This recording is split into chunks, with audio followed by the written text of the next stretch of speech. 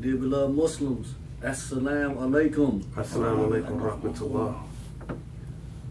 الله أكبر الله أكبر الله أكبر الله أكبر أشهد أن لا إله إلا الله أشهد أن لا إله إلا الله.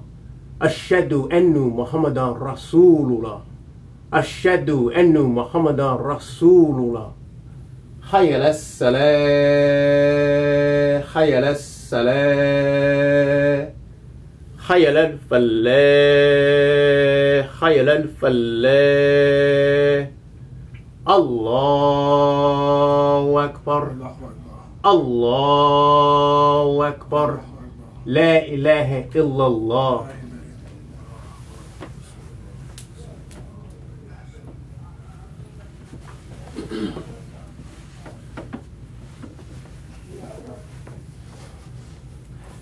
بسم الله الرحمن الرحيم الحمد لله رب العالمين نحمده ونستعينه ونستغفره ونؤمن به عز وجل أشهد أن لا إله إلا الله وحده لا شريك له وأشهد أن سيدنا محمدا عبده ورسوله صلى الله عليه وسلم وعلى آله وصحبه أجمعين.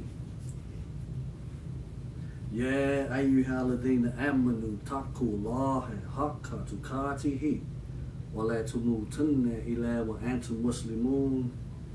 يا أيها الناس ربكم الذي خلقكم من نفس واحدة وخلق منها زوجها وبعث منهما رجلا كثيرا ونساء واتقوا الله الذي تساءلون به وأرحم إن الله كان عليكم رقيبا يا أيها الذين آمنوا اتقوا الله وقولوا قولا سديدا يا أيها الذين آمنوا إذا نودي للصلاة من يوم الجمعة فاسعوا إلى ذكر الله وذروا البيع ذلكم خير لكم إن كنتم تعلمون and that is with Allah's name, the merciful benefactor, the merciful redeemer. The perfect praise belongs to Allah, the God and evolver, the cherisher, keeper, and sustainer of all systems of knowledge. We render all praise to him, and we seek his help, and we beg for his forgiveness for our continued shortcomings. Mighty and sublime is he. I openly testify that there is no deity worthy of worship but Allah alone the one and only, and he has no partners, and there are no heirs to his throne that he resides over. And the Quran tells us that Allah, the merciful benefactor, is firmly established on the throne of authority. And he is the epitome of all systems of knowledge. So, whether you're a rocket scientist, a brain surgeon, you know, a genius or a scholar, you are still pale in comparison to the hikmah or the wisdom of Allah subhanahu wa ta'ala. Whether you're a billionaire or the weightlifter or the general in the military, your powers pale in comparison to, to Al Qadir, you know. As a matter of fact, no finite matter or no, no, no, no finite matter or anything created can ever be an authoritative figure over the one who created it all. Allah subhanahu wa ta'ala is free from being confined to a certain size or weight or a certain look. He can't be contained in walls. The Holy Quran tells us, it says, Ma qadru lillah haqqa qadrihi. says that no just estimate have they made of Allah. You know, so you can't even put a measurement on him, on his greatness. You know, I also openly testify that Prophet Muhammad sallallahu alaihi wasallam is our gift from Allah subhanahu wa ta'ala. And he is the last messenger prophet from Allah subhanahu wa ta'ala. And this is verified where it says, Rasul Allahi wa Khatma and Nabiyin, that he is the messenger of Allah and the seal of the prophets. O you who trust, fear Allah as he should be feared, and die not except as a Muslim willfully submitting to his will. So this is a direct order from Allah subhanahu wa ta'ala. You know, um, he, he says, La to tunna ila wa antu muslimun, right? He said, don't you dare die except for bow to his will. As a Muslim, you know.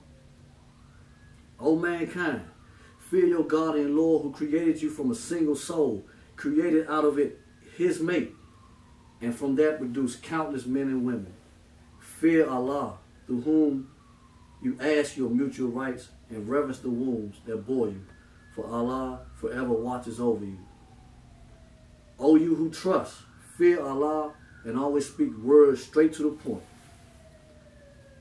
O you who believe, O you who trust, when the call is proclaimed to pray on Friday, hasten earnestly to the remembrance of Allah and leave off business and traffic that is best for you if you but knew. Sadaq Allahu Athim, Allah the Mighty spoke the truth. Dear believers, um, I want to talk to us a short time today about the community of Islam, of Al Islam. You know, Allah subhanahu wa ta'ala has said in our Holy Quran Kareem, in two ayahs in particular, He says, And there may spring from you a nation who invite goodness and enjoin right conduct and forbid indecency, such as they who are successful. And then in that same surah, it says, You are the best community that has been raised up for mankind. You enjoy what is right conduct and forbid indecency, and you believe in Allah. So, these two ayats, they set the foundation for what I want to talk about, you know, um, because, you know, in that order, you know, because, um, and, and, we have to, um, I would say, have have have this structure part in place, right? You know, you know, we have we must have these qualities in place, you know, that enjoin decency and forbid indecency.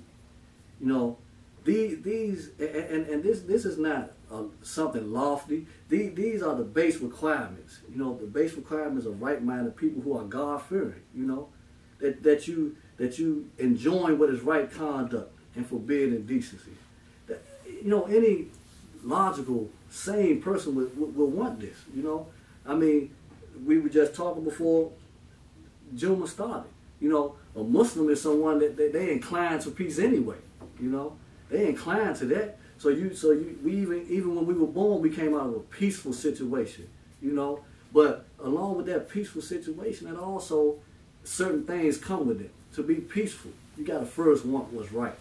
You know, you gotta want what's right first you know, um, so when a baby, when a, when a baby comes out of the womb of the mother, you know, the baby came out of, they say that, that the womb of the mother is the closest place to Jannah, you know. So anything that's that's um, diametrically opposed to what that baby just came out of, the baby is going to automatically pull away from it. You know, the baby, the baby, because they they know good. You know, they know the, you know, so any spirit that's not right, the baby automatically won't go to you. You know, because they have that right conduct that's been put in them. That conduct already has been put in the baby. You know, it's the it's the world that changes the baby's orientation, right? Prophet Muhammad said that. He said every every sallallahu alaihi wasallam. He said everyone is born Muslim, but the world create, turns it into something else. You know, a Christian, a Jew, or whatever they may be. But whatever they are, they have been taken out of their right nature. So again, you know, those are the base requirements. You know, we're born from that. Now, the Islamic communities, you know, of the day, right, of the world, they just can't rest on those laws or the laws of those two ayahs alone because we know that based on the teachings of Imam Muhammad that it's it's a little more complicated. That's that's that's a base that's a base understanding, right? But but based on what Imam Muhammad, you know, may Allah be pleased with him, and give him the highest part of Jannah, you know, he has told us, given us more. He has given us more. And um, in particular, he has given us more about how to be a, the best community with the concepts of these four birds. You know, the, the four birds was one of my favorite I, every time he did a talk on it, I, I got to listen to it. I learned something every time, different every time, you know. But but the concept of the four, four birds, you know, that are described in Scripture, he he gave us he gave us the insight to this, right, and what it meant. He said that it, it meant government, education, um, religion, you know, and industry. You know, people might use other words, you know, but that was basically what it was, you know. Um, but he but he said that's what they um, represented. But with the foundation being built on the things that Allah subhanahu wa ta'ala has mentioned to us in the ayats, you know, decency, you know, forbidding what's wrong, you know, um, it ensures that if we follow that, then that, that the four birds will be safe. They will be safe and they won't fail like countless nations before ours. Because there were, there were um, the Quran it speaks about nations who were powerful and prosperous, right? For their times. You know, and, and, and, and these nations, they actually had command of these four birds that Imam Muhammad talked about. They had, they had it, you know. But they was they were destroyed because their communities weren't built on these certain principles that Allah subhanahu wa ta'ala had established for them. Enjoying the right thing. You know, simple principle. And eschewing what was wrong. The Ad people, um, the Thamud, Pharaoh, you know, the people of Lut, all of these people, they they they had good societies. You know, they had prosperous um, societies.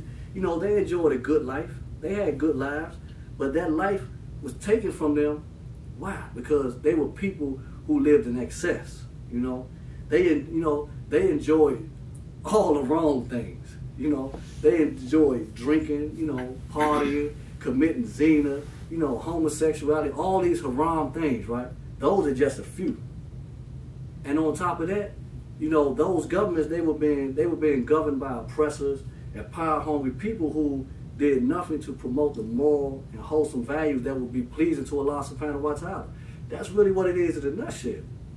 You know, they just cared about what they were doing at that point in time. What's what you know, um, that uh, what what have you done for me lately type of mentality or, or what what I'm gonna deal with is what's placed in front of me right now. So they had good, they, you know, they didn't look to the future. They, they didn't want to establish nothing for the future or their afterlife. They only cared about what was going on right then and there. And it tells you in the Quran, they, they, they, they question it. The afterlife, they say, so you mean after this, we're going to be raised up? You telling me it's something else who, that's going to go on after this? See, they, they question that. So they living for what's going on right now. You know, whether it was wrong or right, long as it was pleasing to what they wanted to do, that was all right with them. And all of them think like that. You know, all of them think like that. It kind of reminds me of what's going on today, abroad and over here. You know, I mean, and um, I don't want to sound, you know, un-American, you know, anything like that, because I'm an American, you know, um, and I don't have any designs on living anywhere but here, you know, but you know, I mean, we live in a, in a we had the, the best democracy on the planet. You know, we can't get around that. You know, I wouldn't want to live anywhere else. You know, even and even though this is a, a Christian society that we live in, you know, we do have laws that protect us to a certain degree. Um, and inshallah, you know, things will get better, and things will have to get better, especially with the um, what, what's happening to us now, what we're seeing happening today in our governments and, and in our communities. You know, but we do have we, we do have certain protections, you know. You know, but things will get better for us, you know, as we continue to promote our deen and continue to be good representatives of the office of Prophet Muhammad sallallahu alaihi wasallam. But speaking of these societies, because because of this society's less than minimal requirements, you know, and their quest to, you know, remain I would say the land of the opportunists, they have just as other lands before this one, they have ignored God's laws and God Himself. You know, they ignore you know, because they worried about what's now, what's happening right now. You know, you got some people there, their whole life is based on the stock market, you know. their, their life may be best based on how their woman feeling, you know or, or, or, or, something like that. You know, um, even in Islamically dominated countries, you know, countries these operate these oppressors who operate under the banner of Al Islam have ignored Allah subhanahu wa ta'ala and the plight of the Rasul sallallahu alayhi wa sallam as far as shaping the community life and shaping the community life that's pleasing to Allah subhanahu wa ta'ala. They they ignored that. We talking about Muslims, you know. Our Rasul sallallahu alayhi wa sallam came, you know, from a tribe who a tribe who in my studies I've have found was the best one of the best tribes during that time. You know, the Quraysh. You know, that was one of the best um, tribes. He was from a noble family. But him, himself being of noble character, the lifestyle that was going on in his tribe was beneath what he felt in his heart would be pleasing to Allah subhanahu wa ta'ala. So his mission was to consult with Allah subhanahu wa ta'ala, you know, in the cave Hira, as did Father Ibrahim alayhi salam, to get guidance on how to move the, the ummah, how to move the community forward, fi sabilillah. And in his 23 years of prophet, prophethood, he did that. And even after his passing, we see that Al Islam has flourished under the community life that he established. You know, it's still moving forward based on that.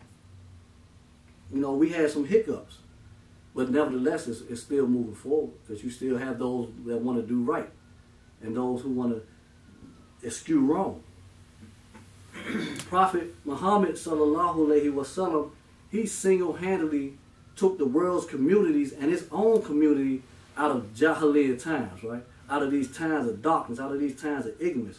He came with the book and the wisdom to liberate the world. Not just one community, but the whole world. You know, not just a Muslim or Arab Muslims, you know, or the people that live in certain parts of Saudi Arabia, the Hijaz for that matter, but for the whole planet.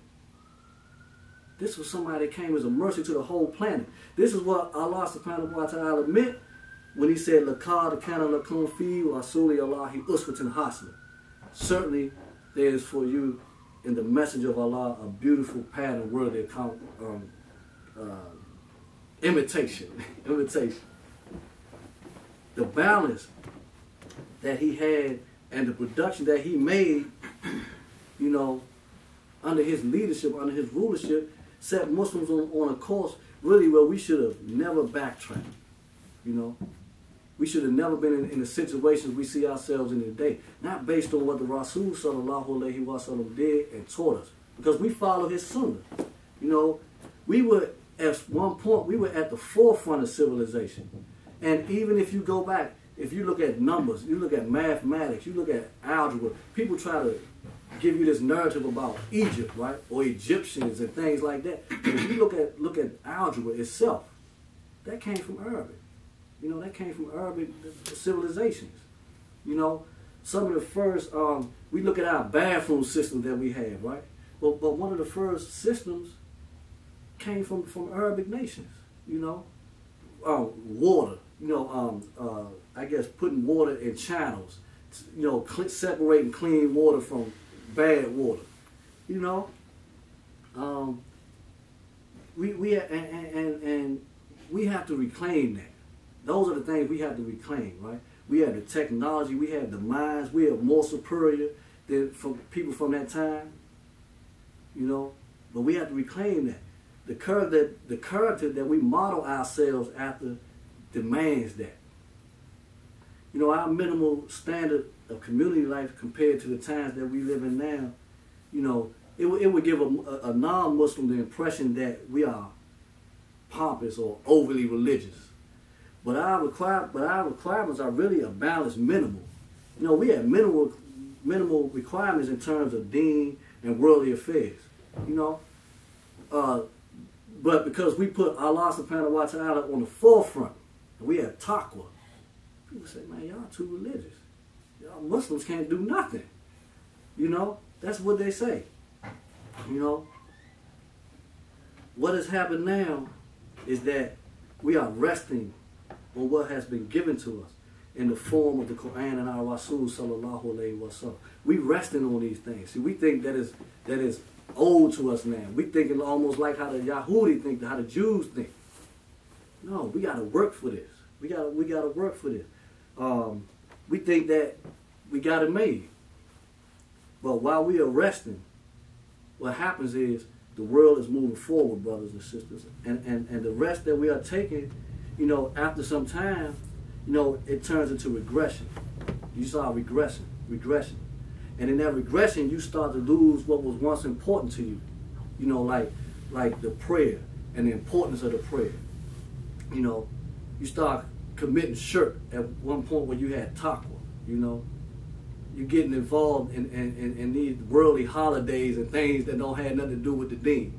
You know, you start doing these things because you lost what because you sitting on what was established for you. You know, we, we, we had to get to the point where we have to do, continue to do and build on for ourselves and our family that which is pleasing to Allah physically, orally, monetarily, and establishing community life. These are things we need to get back to. This is what the Prophet did, sallallahu alayhi wa sallam, his whole life. But when you lose that, then the firm foundation that was established, you know, what happens is it becomes weak. And then the unimportant becomes important. You know, then the community suffers. And when that suffering is not corrected, then the community disappears as if it never existed at all. If we don't take care of what's ours, what, what, what, what's been given to us, and manage that and maintain it, then we'll lose it. You know? This is what this is what happened to the past civilizations. If you if you read any parts of scripture, and it tells us in the Quran, it tells us in the Quran, it says these are some of the stories of the communities which we related unto thee. Of them are some standing, and some have been mown down by the sickle of time. All because of their disobedience to Allah subhanahu wa ta'ala. You know, all because they didn't want to act in the progressive manner that Allah subhanahu wa ta'ala created them. You know. They, they, they know they're not even existing no more. Prophet Muhammad sallallahu alayhi wa sallam and his Sahaba, they were um, traveling one day and they came upon the ruins of the Ad people. And it was and it was reported that he said uh, these were disobedient people. Do not go into their ruins unless you are crying. And if you aren't crying, you should cry for fear that Allah subhanahu wa ta'ala will do, you, do to you what he has done to them. Upon that, his Sahaba, they started crying. You know? Because this is real. This is not this is not a fairy tale. You know, these, these, these are real, actual things that happen. You know, we being in these modern advanced times, like I said earlier, we should never fall into that category. You know, that those people before us have fallen into. You know? And, and, and I would tell you, even in modern times, we shouldn't fall into the same category that people fell into during the 50s, you know, or the 70s, or anything like that. We far more advanced, you know, because for one, we are supposed to be examples of how communities are government and governments are ran, you know, um, based on what Allah subhanahu wa ta'ala has given us, you know. So we, we, we actually are at an advantage now, you know. We are Allah subhanahu wa ta'ala's favorite part of creation. And how we, uh, you know, uh, he takes great interest in us. And he has given us signs in his creation to let, let us know how much interest he takes in us. You know, he has given us signs in his creation of how we should form our communities. And he has told us that there are other parts of creation and they all form communities just like ours. And then we can take from them and learn. We can learn from his other parts of creations if we have a problem. You know, we are told to look at the ant in the Quran. You know, they have a they have a, a surah about the ant. They have one about the bee. You know, the spider. These are all parts of his awesome creation that, from all accounts, are successful. Why? Because they're still here. I can go outside and see a bee, an ant, or a spider. You know, the sickle of time has not bested them, and I surmise that it's because they are adhering to the to Allah Subhanahu wa Taala's uh, assignment, the assignment that He has given them, and also because they all they all put into their you know respective communities. You know they all play they all play a role in the preservation of their communities that they are part of.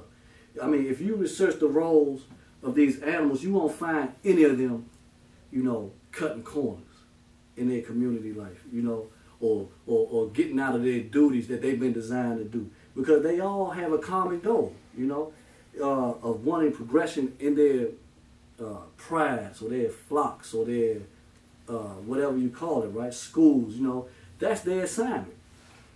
And Allah subhanahu wa ta'ala has given us those same assignments.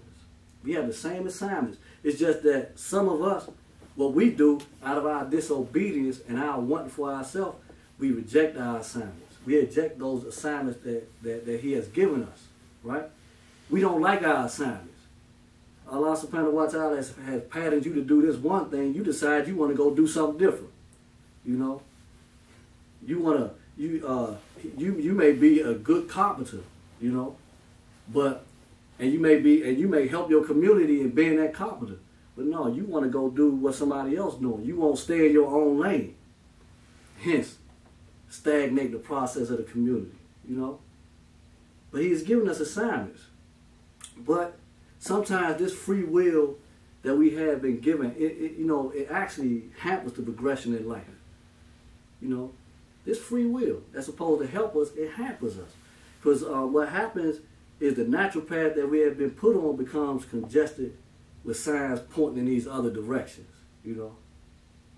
Again, you got your assignment, but you looking you you over in the fast lane when you should over in the slow lane, right? These signs, they take us they take us off of the Suratal Mustaqim, you know. That you know, and we know that the Suratal Mustaqim that's a straight, that's that's an up and down path, right? It's not it's not a straight path. Uh, uh, so Imam Muhammad even, and I'm just thinking about it, he said that that's a spiritual path. The Suratal Mustaqim is, is, is the spiritual path, you know, that we have to stay on in, for, in order for our, our physical path to make any sense. Because it's quite central. If your spiritual path is off, right, or, or that, that spiritual GPS is off, then your Qibla, your Qibla is off. And then if this happens, where does that land you in your physical life?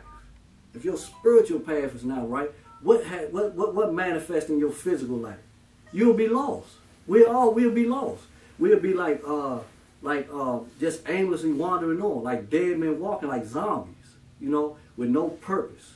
That's what we'll be. And this affects us as a human being. It would affect your growth as a human being. It stagnates you. And, and when this happens, your outlook for your own self is warped. So the so the last thing that you even care about is a community. You see how you see it's a systematic breakdown. If you don't care about yourself, you can't care about you can't possibly care about your your uh, fellow man. That's why that's why it's easy for a man or a woman who is out of touch with Allah subhanahu wa ta'ala or, or be God to detach his or her own self from a productive family life and go for self. It's easy. It's easy for that type of person because the path that they have been chose, the path that they chose or have chosen is congested with the things that the shaitan has put in the way. You know, he he give you every unimportant thing imaginable to keep you off of um, of the Suratul Mustaqim. And then, he, he, and it ain't so much that you got to be out there doing a bad thing.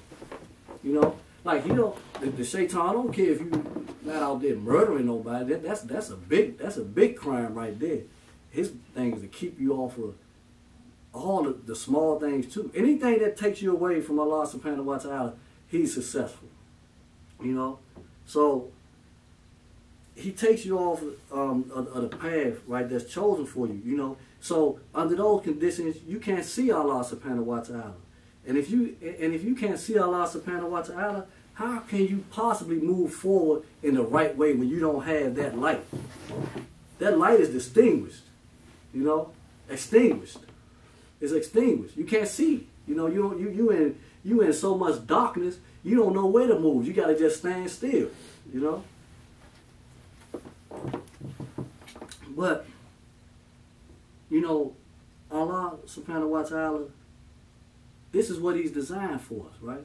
This is what this this is this, this is what he has designed for man, you know. And I'm talking about the male. I'm talking about male. You know, the woman too. But in this case, when I say man, I'm talking about the, the male. You know, because we we the we the legs of the society. You know, and the, one of the things that he didn't do do is make make man to be alone. He didn't make he didn't make man to be alone. You know, he made he made us to be a social to be social and community based creation. You know, so it's unnatural for a man and a woman really not to be married. You know, it, it's, it's it's actually unnatural. As as a matter of fact, the happily married couple lives longer. You know, and if you produce a family out of that union, you know that's another way for you to establish a community, a, community life. You know, and we know that the community, that the family is only an extension, or that the community is really an, an extension of the family. And when we're in accord with this, this also tells me that, you know, well, it, it, it tells me that if we're in accord with this structure, this halal structure, then that means what? That our community should live longer. You know, because everybody, because everybody has roles in the community. You know, the man has a role, the woman has a role, the child has a role. Everybody has a role, but only together can you go live longer and be stronger. It's almost like a link, uh, a link chain. If you pull it, if you got a strong chain pulling a truck. If one of them links is weak, then it's gonna it's gonna hamper the progression of you pulling that truck, especially if you got to pull it up a hill. It won't be as strong, you know. But again, the, the, the family is an extension of the community. So when I look at when I look at our communities, it, it shouldn't be a, a, uh, uh, a mystery of why I'm having reservations about the future of our communities. You know, all I got to do is look at it, and I, and I talked about this before. You know, when I think of certain neighborhoods, like I grew up in this area right here. You know, but when I when I think of certain neighborhoods, I like to use the scenario that if you stand in the middle, in the center of a neighborhood, right, their, their most busiest area, right, and observe the movements and the culture, you know, and the language of the people, you'll get a good idea of how family life is. Just by being around the people, right? Remember, the community is an extension of the family. If you preserve, if you observe the predatory businesses that they put in our neighborhoods, you know, um, or, and that are allowed to operate with impunity. And you get a, you get a, you can look at that and then you can get a good idea of how the health of the community is. You know, how the people eat, how the people drinking. You know, I mean they, they put they they starting to put these Whole Foods and stuff up now. You know, that's only because of certain kind of people moving in, but they wasn't doing that um, from the '60s on up to just recently. You know, you know, they would they would put more Chinese joints and and and all kind all, everything that's bad for us, chicken joints, greasy spoon joints, all these things in here. How that's helping our health, you know? How that's helping us, you know? But you get but based on on, on these things, you can get a good um pretty a pretty accurate opinion, right? That the family life is gonna be some suffering because of that. You know, you're not eating right you know, you, I mean, you're not eating right. You're not getting the right spiritual food or the right physical food. So that's the reason you can look at that and come to the conclusion to the conclusion that that's the reason why Allah subhanahu wa ta'ala is non-existent in the light of the communities. You know? That's one of the reasons. Even when we get religion, we get an incorrect religion. You know? Because of how because of because of how our community is, is how the community operates. You know? But but that's what's going on. And and then that affects the grown ups and then it affects the children who to me are innocent in all of this. In all of this, you know. The, the, the children are the most innocent, but they but they suffer because because of the, these same things. You know, but in these instances you have people who are not cognizant to the fact that they are being oppressed. Because this is a form of oppression to me. You know, this can't be life. Because their path, you know, the paths have been, been littered with filth, you know. Littered with filth. And, and these people know it. These people that come into our neighborhoods, they don't add to the neighborhood. They just take from these neighborhoods, you know. They should, they, you know, and they, they so they know what they're doing is, is not right. But the profit margin is so great you know, It's so great. One thing about us, we're gonna get some Chinese food and we're gonna get some chicken. We're gonna open up these kind of spots. You know, ain't nothing healthy about it, you know.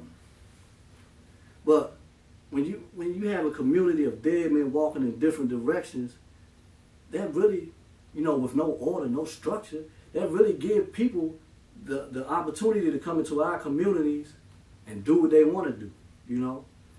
And I don't, and, and I don't support none of them. You know, I, I don't like none of them. I mean, they because they bring drugs, alcohol, cigarettes, divinely prohibited flesh into the communities, right? And they're making all this money because they know that the unknowledgeable and un- uneducated, broken families will pay for these vices that they give them. It's real simple. And they know that also if your mind and your body and your soul ain't right, they can better control you. You know? They keep they keep us wanting. You know. We we we getting um we getting food, but we getting bad food. We getting religion, but we getting bad religion.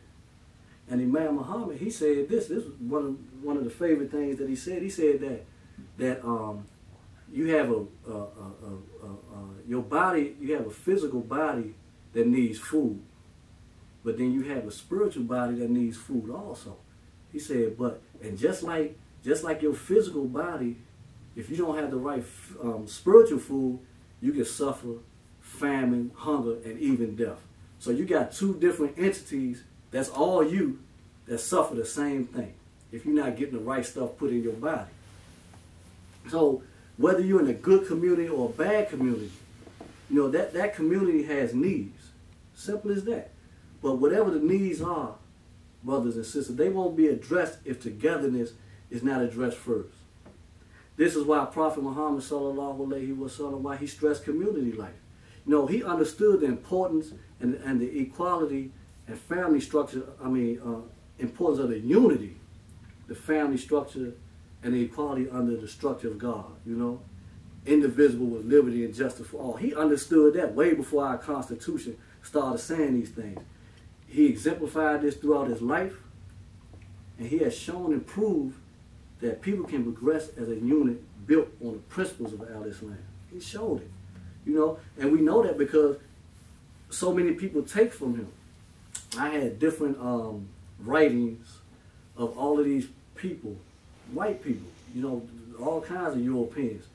And they said these things about Prophet Muhammad. You even had Gandhi, who everybody loves, right? Said things about Prophet Muhammad.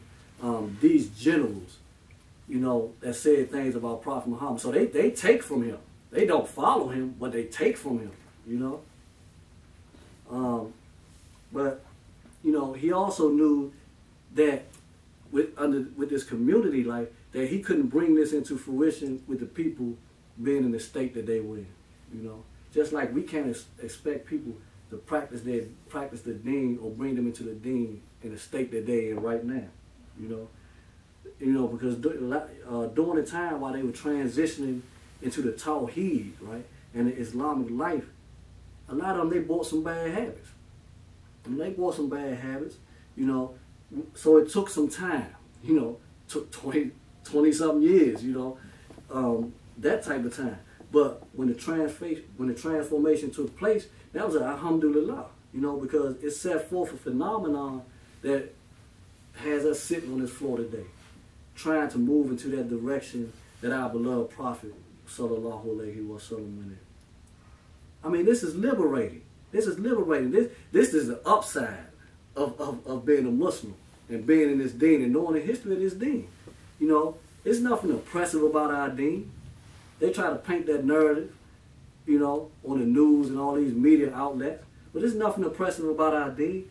Our Rasul sallallahu alayhi wasallam is the blueprint that we must follow. You know. And it appears that we're doing fine, you know, to some of us.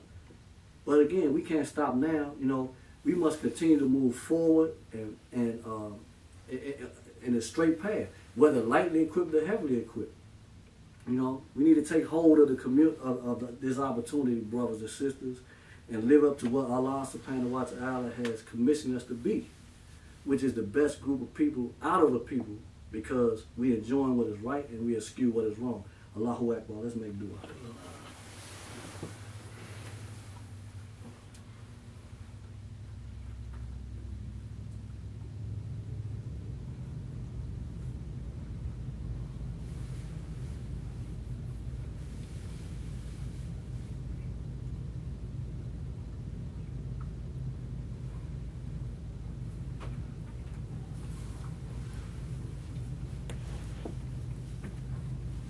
Bismillahir Alhamdulillahi Rabbil Alameen. Ashadu la illallah wa ashadu Muhammadan Rasulullah. Um, Imam Muhammad uh, has stated in, a, in another one of my favorite quotes, he said that community life is the trademark of the Muslim. The, the, uh, the sincere Muslim knows that he or she is not an island unto themselves. Because, as I said earlier, Allah subhanahu wa ta'ala has made us to mingle and to be an active part of life, you know. And with that, one of the things that we shouldn't do is, is I, I hear a lot of us say, Muslim and non-Muslim, that, um, you know, we want for our brother what we want for ourselves we, we, we say that. But we shouldn't use that so loosely. You must really act on it. You must really want for your brother, your sister, what you want for yourself. You know? And, and, and, and, and in order to do that, you show that by establishing community life. A, a life that that's a strong, prosperous community life that's supportive of everybody that's in it. Imam Muhammad said that um, he said that um, we should be so tight, you know, as a community or a unit that when one of us hurts, all of us should feel it. You know, that's the community life. You know, so if we, if if if if, if my neighbor is hurting, I should be in a position to do something about that, right? That's how it is. You know. Uh, that that that's a lot of times our redemption comes through helping others. You know, that's that's sadaqah. You know, it comes through helping others, doing more, doing that extra, going that extra mile, to do to do what makes you feel good, but also to do what's pleasing to Allah. You know, they say community life is a trademark of the Muslim. So, and and, and I I was taught on this before about that word community, right? So I'll do it. I'll do it again. Hopefully we can grab more from it. But when we when we see the word community, right? We see that, that that's a compound word. We see that that word is composed of two words, common and unity, right? Now, the first part of the word common, you know, C-O-M-M-O-N, that has two M's in it. The second M latches on to the word unity. And we know in Arabic, that when you have two consonants, right, it's called it's called a shadda. You know, that's that's two consonants doubled up beside each other. You know, and um, also shadda also means to strengthen or join together. Now, in in the, in the uh, in this case, the word common is joined to the word unity. So this word, so when you put that word together in its totality, it shows us that when a group of people join together with a common goal, that their unit is stronger. You see? And this is just the English term. This is the English term. Now, the, the word Eng, uh, the word community in um, in Arabic, we wouldn't say community. We would say ummah. Ummah, right? That ummah has two M's in it also, right? So remember, we talking about strengthening, you know? So if you look at this word, the word ummah by itself, it's saying that a merge of the minds must take place to be successful and progressive, and that takes unity. See how it goes back? And we know that that that, that, the, that the Arabic, the Fusha, is the is the best language. You know, that's the most excellent language. That's Quranic language. You know, but Allah, he, He's showing us, He's turning, He's communicating and teaching us through the Arabic. So Ummah, again, it, it, it, it's telling us a whole lot. It's not just saying a community, because you can have a community of people out there that ain't doing nothing, right? But when you but but but we put the best construction on the Arabic. So it's telling us that a community of people that come together to be stronger and progressive, you know. Now, I'm no scholar, you know, but but I feel safe, um, a, a safe assumption that to say that if we all pull in the same direction, we can progress and become stronger. You know, again, you want for your brother what you want for yourself. You know, and we we heard the saying that if you do good for one man, it's like you did good for the whole community. But in order to do that, there's other things that must take place. You got you got to have love for me. You got to like me. You know, you got to trust me. You know, you got to be willing to work with me. Right? Imam Muhammad said again, and I just got to mention that he said that we should be so tight that when one of us hurts, all of us feel it. So, a community the word community in Arabic is called ummah. So we established that. And for the grammatical purposes, I just say this, that that, that word ummah is a feminine word. You know, it's feminine in, in nature. That's why we we call our mothers. We say um, right? Um, U-M-M, um. Or if you say ummi, that's saying my mother, right? But um means mother. So any word that's built as a result of coming off the word um is going to be a feminine word. Why I'm saying that? I'm saying that to, to prove another point. If we look at the word Juma or Jumat with a T, it has a, it has a T on it. That that T is telling me that that's a feminine word because it comes off of the word um, mother. And it's also telling me that when that, that when uh, Juma is not just for the men, you know, because it's a feminine word, and it, and it, and it means society also. So it, it's telling us that the woman can be included in the Juma. So when you have these societies that want to shut the women out of the Juma, they out they outside of the laws of Allah subhanahu wa ta'ala because Juma is for everybody. It's a feminine word, you know? Um, and it also tells us, you know, that that the that the woman, the fem, the feminine woman, right? The female is the mother of society. It tells us that too. And her role in society is to be what? To be a nourisher for the growth of the life of the society. That's her role. Just as the mother nourishes her own baby and the womb nourishes the life. And the role of the mother is also one of being a comforter also. These are feminine attributes, you know, and, and we have them all in us, you know. We, we have we have those in us too, you know. We're not just hard as nails like we think we are, you know. We have we have feminine traits. And I tell you something too, um, that might make you feel a little funny. Any anything that's in doubles is feminine. So your two arms is a feminine a feminine word. Your two eyes is a feminine word for that. So you know, well, the mother is the role. One of her roles is, like I said, is to be a comforter. You know, that's one of the attributes of Allah Subhanahu wa Taala. And I, and I can bear witness to us to that. Any of us can bear witness to that because when you needed comfort or mercy, who did you run to? You run to your mother. You didn't go to your father. I, I didn't go to mine. You know, when my report card wasn't what it's supposed to be, I went to my mother first. I figured I can get I can get some asylum with her. You know, I didn't go to my father. I might get a punch in the chest or I might get punished. But if I can appeal to my mother's sensitivity, I had a better shot uh, uh, at least making it outside for the summer, you know. And I know a lot of us are like that, you know.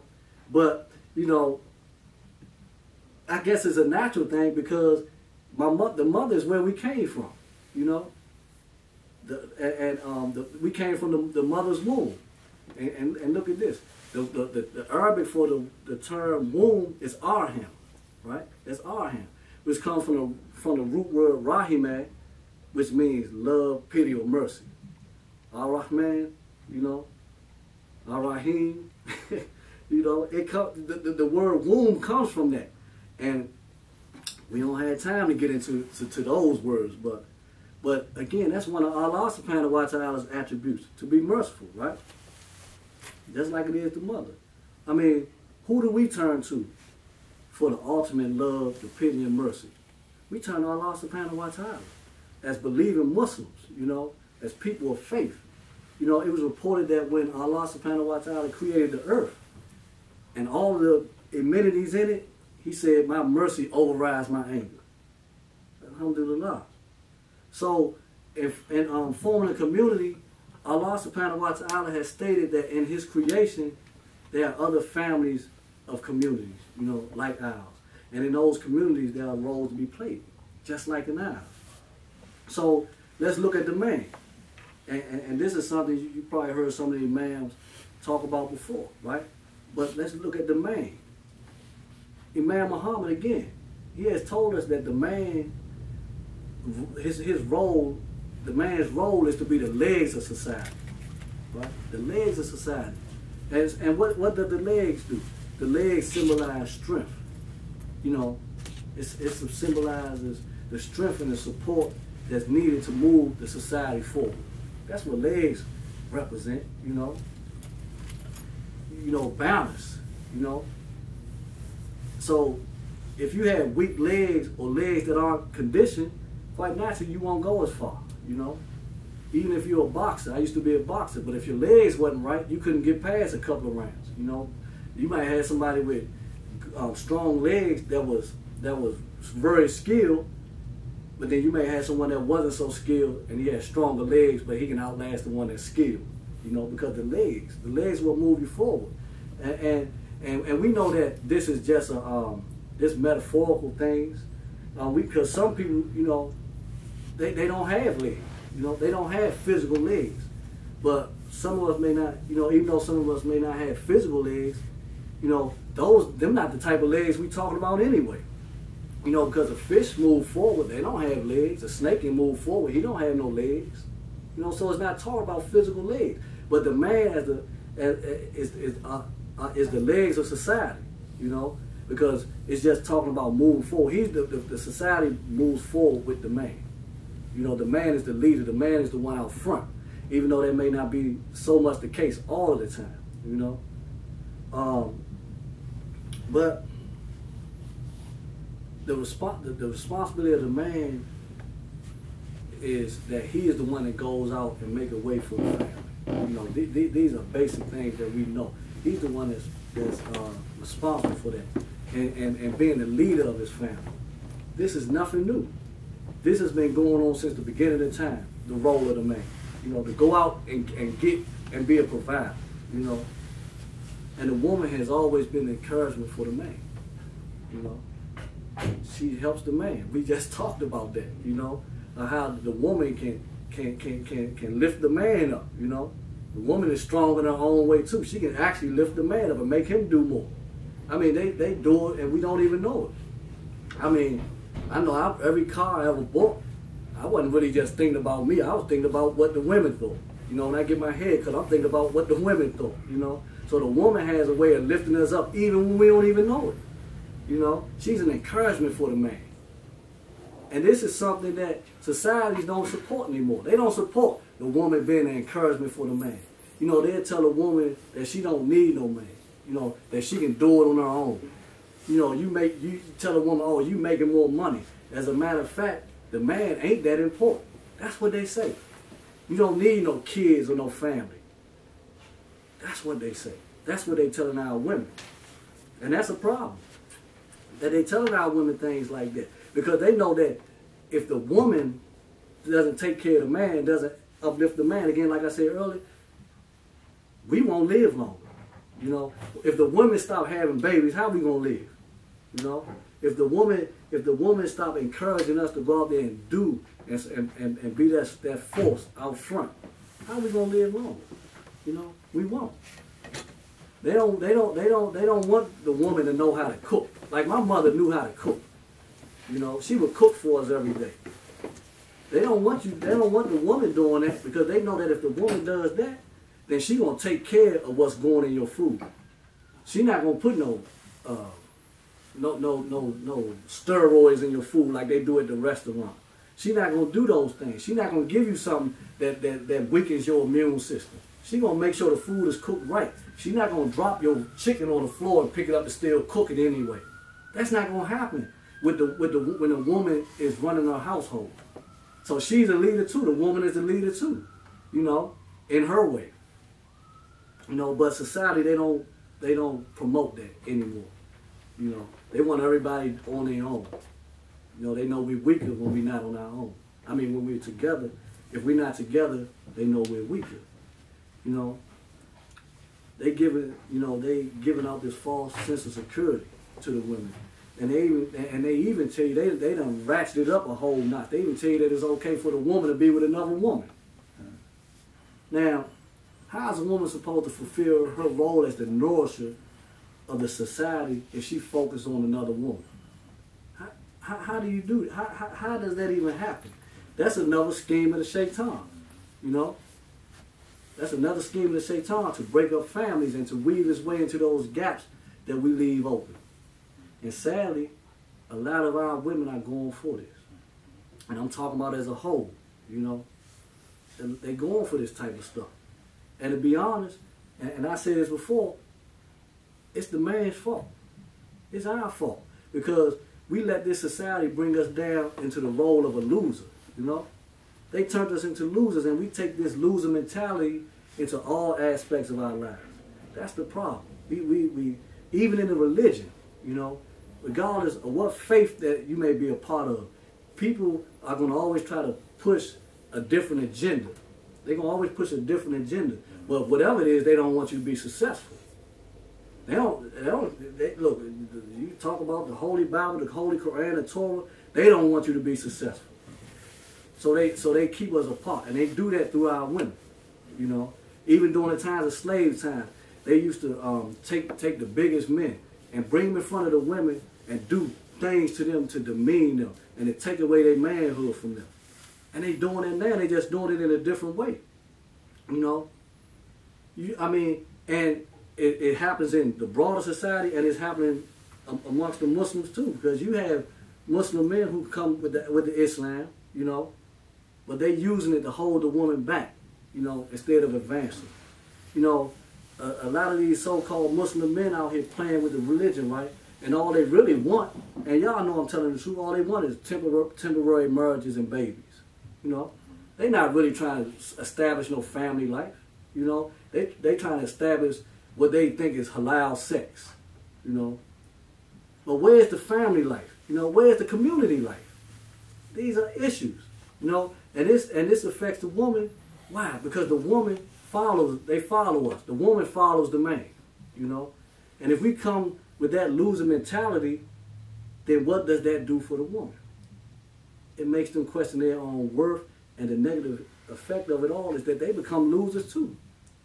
You know, so that's why you. It's not strange to see a woman walking out here, and I, and they've been going on for a while. I, you know, I, we see them every day, but they walking out here with pajamas on and mm-hmm. and and flip flops on and all this hair. I go to my daughter's school. I'm like, man, don't nobody. I'm used to seeing people in uniforms and things or something, right? Some dress, you know, because I dropped my kid off. I, I see, I'm like, man, what is it, a federal holiday or something? Because the way they dress, that's that's not respectable. But when the, but they had that losing mentality because of what we do, how we treat them. You know, how how we subjugate them. We putting them on video, and I know, you know, I know how people are, right? You know, so I won't get into that, but I'm saying it hurts us. You know, when a woman think that she got to be a sex object just to, to, to, move forward. You know, in in life. You know, but um, but but that's what's out here now. You know, we have loser men and women who have given up. They've given up. That's why society has been uh, has successfully been able to put this seemingly irreversible tag on our women, and and, and, and that that irreversible that seemingly irreversible tag has made them leave their natural roles and their and maternal skills aside for this disrespectful attitude that they carry toward their own self and men. You know, that's why that's why they acting the way they acting now, and it's all extreme. You know, like I said, one minute they they dressing in. I know when I was going to school, they you know you wear tight clothes and stuff like that, right? Now they they done went to wearing again pajamas. I mean, when does it stop? This is a problem. And again, it's our own fault because we, as, as men, we are supposed to be the protectors of the women. This is Quran, right? We control, and, and we the ones that control the movement in the Ummah. That's that's that, that's our fault. So if the man's losing attitudes affect the woman, then the progression stops. And and I can tell you this: that any society that takes women out of the out of out of their um, their natural role has not been successful. They don't progress. And you can look at Saudi Arabia right now. You know, they because the way they treat their women and, and certain certain um, Islamic countries, they behind the times. You know, you got women over there, they, they still don't let women drive. You know, but if you take the woman out of the society, then that society is not going to be successful. It just can't happen. It won't happen. You know, if you stop your woman from wanting to go to school, right? Then how is she going to get enough knowledge to help you or help the family? What if you go down? You know, getting a bad accident can't work. You gonna wish your woman knew something then? You know, you gonna wish it then? You know. But the progression stops. It stops. The man don't do his part. The woman don't do her part. And when this happens, then that rotten mentality of this godless society can dictate what the role of the woman is. You know, we might as well let the people downtown marry our women. You know, they they they, they giving her food. They, they they say they can provide everything for. Her. We might as well let them. Ain't no sense us even thinking about no women. You know, they they get a woman a house to live in and say, look, you can't let nobody else in. Don't let nobody in this house. That's the stuff I tell my wife look, don't open the door for nobody. but the people downtown get to tell you, tell the woman, don't open the door for nobody. You know. And, and if we find out he over here, we're gonna catch him and lock him up. That's what they do. You know. But as Muslims, we must break this trend, brothers and sisters. I mean, the onus is on us because if we are strong in our resolve and in our faith to want better for ourselves and our families and how we treat our women then what happens is that this society will respect us. They will respect us, and they will take good counsel from us. They will take good counsel from us. Just like they take counsel from the Prophet sallallahu alaihi wasallam. You know, like I said, it's so many people that admire him. You know, one year he was in a book, and uh, I think in that book he was rated number one as the most admired person on the earth. You know, that ever lived. You know, um, and you have these people, um, these these warriors and these scholars. They all take from him. They all take from him, right? They take good counsel from him. And as, as, as representatives of the office of Prophet Muhammad wasallam, if we live up to that mandate, then they're gonna take counsel from us, you know. And they're doing it, you know. Uh, now I'm gonna talk about the child, and I'm gonna close it up. Um, the role of the child is quite simple. So we got the, the role of the man, the man of the woman, and the man, the role of the child is quite simple. You know, if you ask the child what their role is, right, they're going to tell you, you know, play video games, you know, get on their iPad and tweet and all these other things, right? You know, go to school, clean their room. That's their role. But but but but their role, the, the role of the child, um, from our point, is to train them to have taqwa, right? and to be and be to be good examples for them so that they can take over from us when we get old and we can't do it no more so that the lineage lives on and so that the society can continue to benefit from the Muslims you know this the, our, our adab our character you know um, in closing uh, I, I, I want to say that you know the charge or the mandate is on us to build up our communities and our families Right? that's what we should do. And if we do this fi sabilillah in the path of Allah, then Allah subhanahu wa ta'ala, He will bless us not just for our own families, but families upon families, generations upon generations. We're going to get the blessing for that. You know, even when, when, we do that part, that act of charity, right? That's something that goes on even after we die. That's called Sadaqah Jariyah. You know, that that's a, a, a, a, charity that even after you die, it keeps going in your behalf. You know, it never stops. You know, so so we we'll get that. Imam Muhammad said that um, he said that we should come together on the fact that we want a good life. You know, that we want a secure community. Community. secure from people robbing each other, cheating on each other, you know, sneaking in homes by the back doors, committing zina. Let's come together on that. Then what happens is the light of heaven shines down on you. Allah subhanahu wa ta'ala favors you because you have taken steps towards progression, fi sabilillah. That was a direct quote from him. So, uh, brothers and sisters, I want to thank you for um, having me here.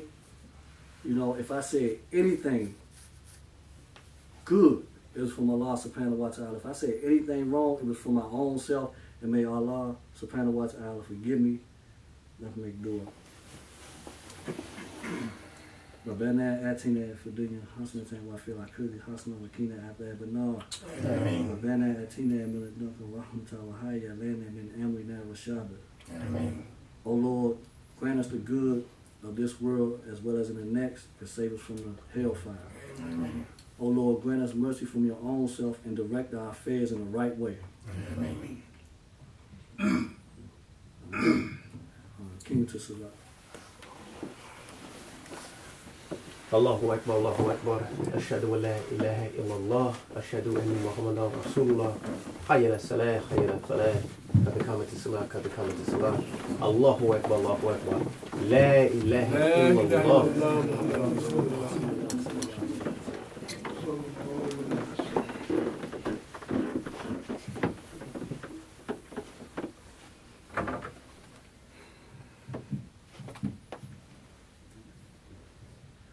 Allahu Akbar. بسم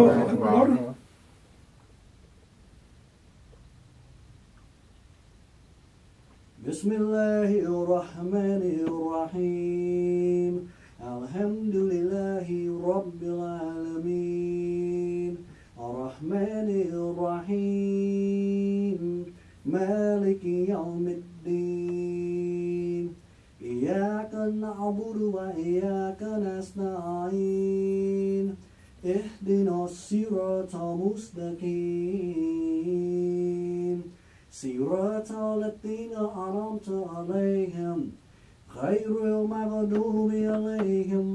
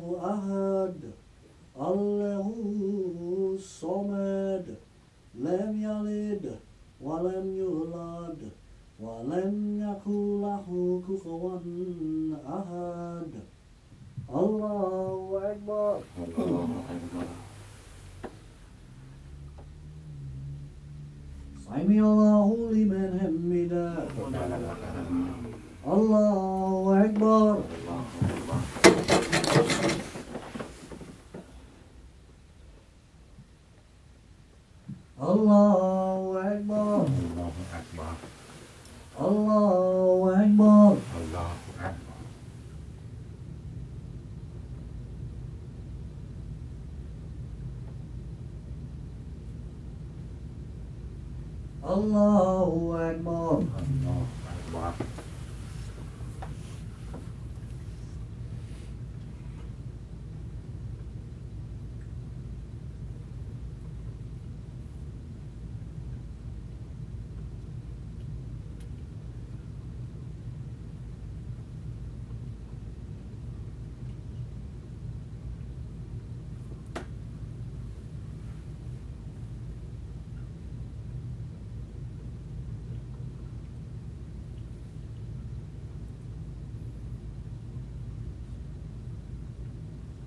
السلام عليكم ورحمة الله. السلام عليكم ورحمة الله. السلام عليكم ورحمة الله. السلام عليكم ورحمة الله.